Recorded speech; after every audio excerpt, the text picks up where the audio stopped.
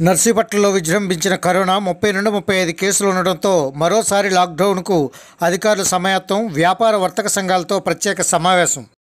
నర్సీపట్నంలో శుక్రవారం నుండి మధ్యాహ్నం రెండు గంటల వరకే షాపులు ఉంటాయని తర్వాత ఎవరు షాపు తీసినా అధికారులు చర్యలు తీసుకోవచ్చని అంగీకారం. చిన్న చిన్న వ్యాపారాలే కాకుండా కార్పొరేట్ దుకాణాలు కూడా మూతపడతాయా అనే దానిపై స్పష్టత రావాల్సిన అవసరం ఎంతైనా ఉంది. వ్యాపారస్తుల్లో మిశ్రమ స్పందన రాకుండా అధికారులు మరింత చొరవ చూపాల్సిన అవసరం ఎంతైనా ఉంది. ఇకపై సరైన అత్యవసర కారణం లేకుండా మధ్యాహ్నం రెండు తర్వాత తిరిగితే ఇబ్బందులు తప్పవు. బయట తిరగాలంటే భయంగా ఉంది అనే స్థాయికి రావాలి.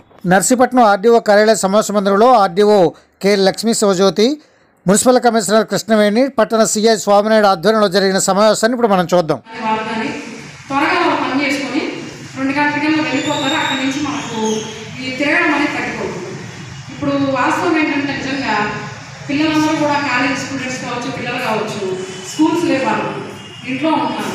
దానివల్ల ఏంటంటే వాళ్ళు ఏం పని లేకుండా కూడా రోడ్డు మీద తిరుగుతున్నారు.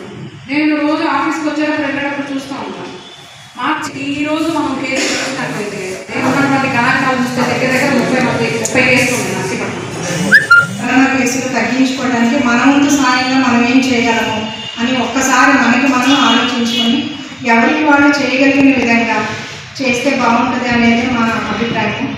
అయితే ఇప్పుడు నిజానికి మన సిటీలో పరిస్థితి ఏమీ బాగాలేదు అయితే ఇప్పుడు నిజానికి మన సిటీలో పరిస్థితి ఏమీ బాగాలేదు అందులోనూ ఇది వర్షాకాలం.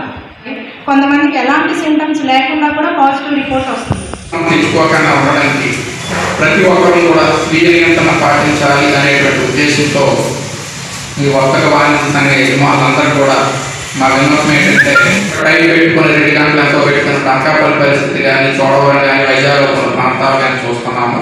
ఆ విధంగా పాటించవలసిందిగా ప్రభుత్వం ప్రభుత్వ అధికారులుగా మేమందరం కూడా కరోనాని మన ఏరియాలో ఎక్కువ వ్యాప్తి చెందించకుండా ఉండడానికి మీ అందరినీ కూడా